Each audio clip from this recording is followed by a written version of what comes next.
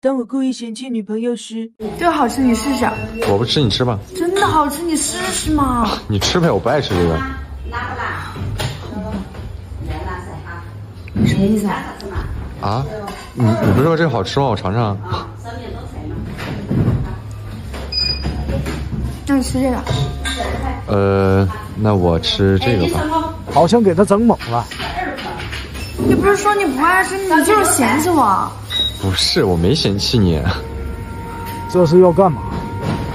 我吃过了你都不吃。不是你，幼儿园小孩啊你？我给你吃。哎哎哎哎哎！好饱啊。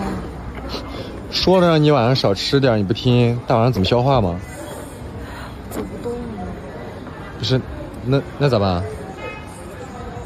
背我，我不背。你下次少吃一点。你是是不是背不动我呀？我背真背不动。你怎么就背不动我呀？三二一，真心话还是大冒险？大冒险。那下去做一百个俯卧撑。我疯哥哥。嗯，那真心话也行。嗯，咱俩啥时候结婚？结婚？我还不想结婚，还没有想好。哦，行吧。你生气了？哦，没有，就能理解。像你之前都是一个人嘛，嗯，习惯了，心玩野了是不？没有。但是我告诉你啊，这些都是假的。因为更多的时候，我们都是在想结婚和不想结婚之间反复徘徊。嗯，你知道为什么吗？为什么？